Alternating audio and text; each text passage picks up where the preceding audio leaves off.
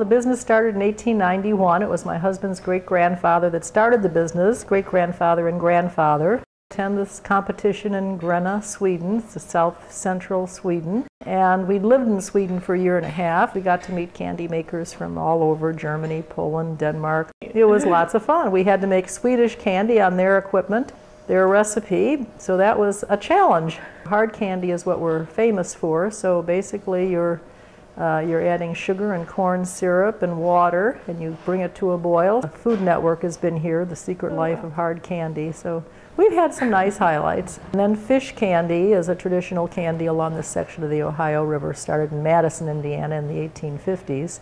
So we've been making fish candy here since the beginning, and called a Modjeska, uh, which was named after Madame Modjeska uh, in the 1880s. Hi, my name is Shalonda Midkiff. I am a New Albany resident. I have been a faithful customer here at Schimpff's in Jeffersonville for seven plus years. Fortunately, I'm employed right next door, so I do visit Schimpff's daily.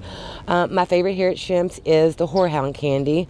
Um, I do live by it. It is um, a natural herb that does cure some coughs and colds and allergies. It's a 1928 vending machine, and it still works very nicely, thank you. All you need is a nickel.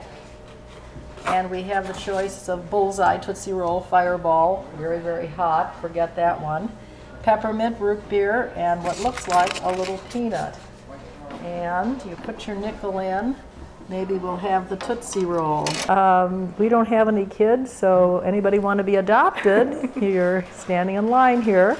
Everybody's interested, but it's a lot of hard work, so nobody's stepped up to the plate quite yet. Carrying on of the tradition of downtown Jeffersonville. With the Horizon News, this is Erin Mann.